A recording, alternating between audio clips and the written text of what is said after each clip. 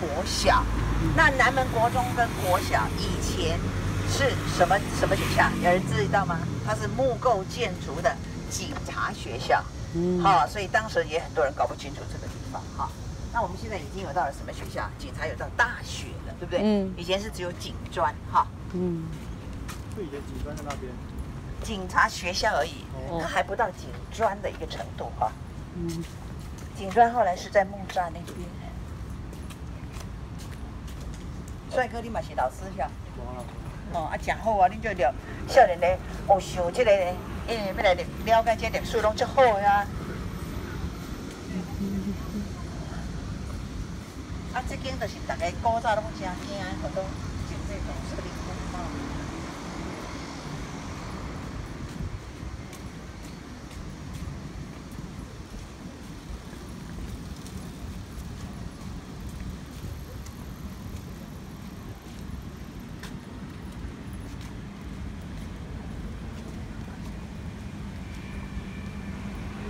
哩。我们可能来不及，好，那我们等一下。我们下一个地要去的是安溪会。台北有两个二二八馆，知道的举手。哎，很好，你为什么知道有两个？你是哎，二二八公园里面那个地址是什么？你看我今天好喜欢考倒人。凯达格兰。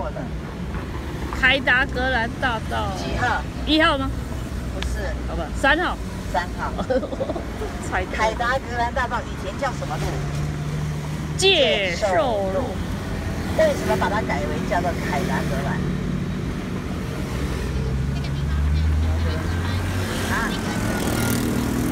是经过票选的，六千多个票选，然后最多的很好，就是把它命名凯达格兰。当然也有一个人的命名很好笑、很有趣，可是没有被入选。叫做玛丽莲梦，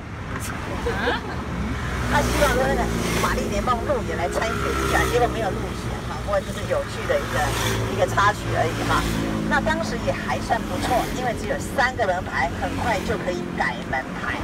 我们现在台中地区有没有台中地区来的朋友？以前有一个地方叫中港路，对不对？嗯现在改名叫做台湾大道，很多人一定很生气。我的户口、我的银行、我的所有的资料，通通要去做什么？变更改，烦死了哈！那凯达格兰大道只有三个门牌，所以更改起来很方便，而且这是官方的建筑物。来，一号是谁？总统府。奇怪呢，为什么很多人都这样猜呢？啊啊！台北宾馆了。哎，这个老师知道哈，这个老师知道是台北宾馆。二号呢？嗯。